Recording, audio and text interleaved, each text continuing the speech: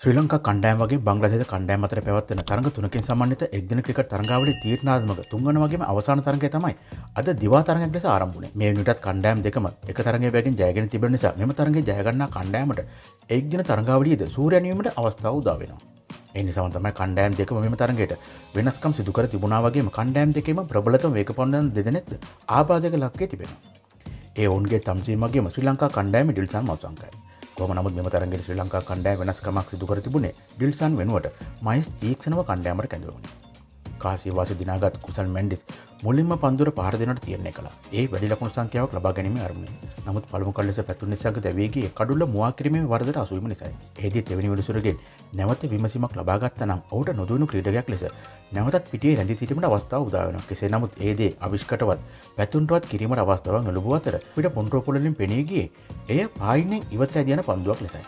කොමනම ශ්‍රී ලංකා කණ්ඩෑම කඩුළු අවශ්‍ය මොහොතේ බිඳ වැටිද්දී සුපිරි සම්බන්ධය පැවැත්වීමට නවක ක්‍රීඩක ලියනකට වගේම නිම තරගේ වෙනුන් කැදූ මයිස් තීක්ෂට හැකවලබුණේ සෙසු පිතිකරුවන්ටත් හොඳ ආදර්ශයක් ලබාතම ඇති ශ්‍රී ලංකා කණ්ඩෑම පළමු කඩ ලකුණ එකේදී දෙවන කඩු ලකුණු පහලවේදී අවිශ්ක තුන්ගෙන කඩු ලකුණු හතරිසකෙති සදීර අතරන කල්ල පන්දුවර දහත එක් පන්දුව තුළ මුල්ලකුණු සංකව හැත් හතරකෙදී කුසල් මැන්ඩිස් තමයි නායකයි දැවීගිය ඉන්නතුර හොඳ දස්කම් අතර සිටින ක්‍රීඩක චරිත අසලංක මෙම තරගේදී දැවීගේ ශ්‍රී ලංකා කණ්ඩායමේ පස්වන කඩු ලැබෙනට පන්දුවර 25ක් අවසානයේදී ලකුණු 117ක් ලෙස තමයි සඳහන් වුණේ. ඉන්න අනතුරු දැවීගේ දුනිත් වෙල්ලාලගේ ඒ එක ලකුණකටයි.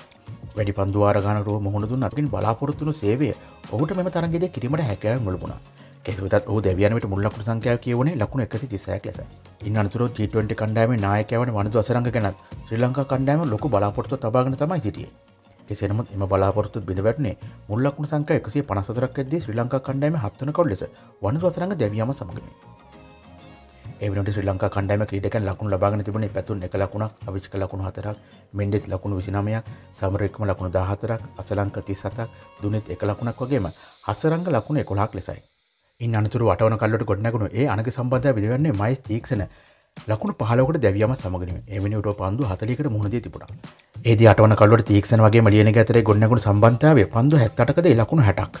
ඉන්නතුර ශ්‍රී ලංකා කණ්ඩාමේ නමන්න කොල්ලෙස ප්‍රමුත් මල්සාන් පන්දු හයකද ලකුණු තුනකට දැවීගිය එවැනිට ශ්‍රී ලංකා ඉනම කියවුණේ ලකුණු දෙසි තිසාතරකට කල්ලු නමයක් ලෙසයි. කෙසවතත් ඔවුන් දෙදෙන පන්දු පහලෝකද ලකුණු විස්සක් එක් කිරීමට සමත් වුණා. මේදී තම හයවන එක්දින ඉනිම ක්‍රීඩා කන ජනිත ලියනගේ මංගල සතකේ වාර්තා කිරීම සමත් වනේ ඕගේ ඉදිරියේදී සීලිම පිතිකරුවන් අඩු ලක්ුණු සංඛ්‍යාවට දැවියද්දී ජේෂ්ඨ පිතිකරුවෙක් වගේ අධ්‍යකින් බහලු ක්‍රඩයක් ලෙස එක් අන්තයක රැදිසිපින් හුද කලා එනම ක්‍රීඩා කරමන. ඕගේ නිම නිසාමතම ශ්‍රී ලංකා කණ්ඩායමට මෙවැනි ලකුණු සංඛ්‍යාව කර යාමට හැකියාව ලැබුණේ. ඕගේ සතකේ වාර්තා වනේද හතරේ පහරකින් වීමත් විශේෂයක්. එවෙනට පන්දු එකසේ එකකදී හතරේ පාර කොලක් වගේම අයිපාර දෙකක් ඕගේ ඉනිමට අන්තර්ගත කර තිබුණා වගේම ඕගේ පිතිකරන වගේ සඳන් වෙන්නේද? අනු නමයක් ලෙස යනු පනස්සන පන්දුවාරේ අවසාන පන්දුවෙන් ශ්‍රී ලංකා කණ්ඩෑම සීලම පිතිකරුවන් ලකුණු දෙසි තිස්පාකට දැවේගේ ලහිරු කුමාර අවසාන පන්දුවදී දුවදී දෙවියම සමගනේ කෙසේතත් මේ මංගල සතකේ ලබාගත් ජනිත් ලියනගේ පන්දු එකසිය දෙකද නොදවී ලකුණු එකසේ එකක් ලබාගෙන ශ්‍රී ලංකා කණ්ඩෑම ගෞරවාන්විත ස්ථානක රැගෙනීමට සමත් වුණා කඩු ලබාගැනීම තස්කිම් කල්ලු තුනක් මුස්තෆිසූර් කල්ලු දෙකක් වගේම මෙහිදී හසන් කල්ලු දෙකක් ලබාගන්න දෙසවම සාකාරා රිෂාඩ් හුසේන් අතර එක් කල්ලු බැගෙන බෙදී ගියා.